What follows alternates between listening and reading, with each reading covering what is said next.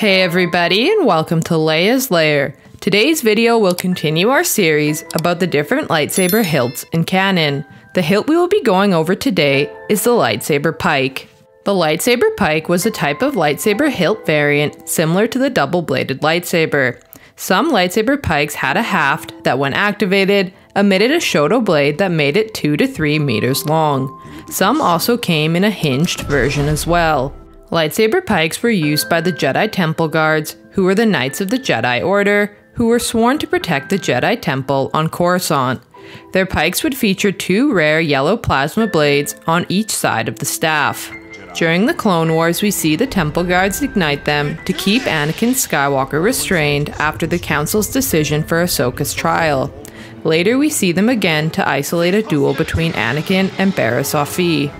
Kanan Jarrus also experienced a Force vision where he saw a lightsaber pike on a wall rack containing various lightsabers.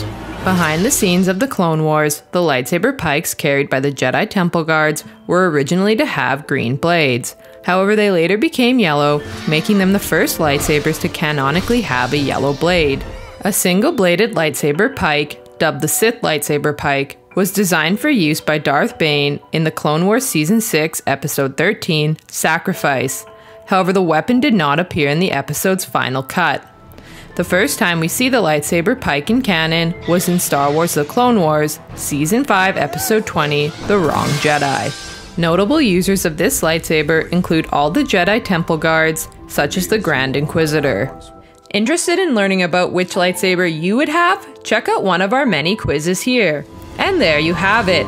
Thanks for watching everyone. What did you think about this video? What other lightsabers would you like to see? Let us know down below in the comment section. And remember to like, share, and subscribe to the channel for more great videos to come. We hope to see you all again in Leia's Lair. You are not a Jedi yet.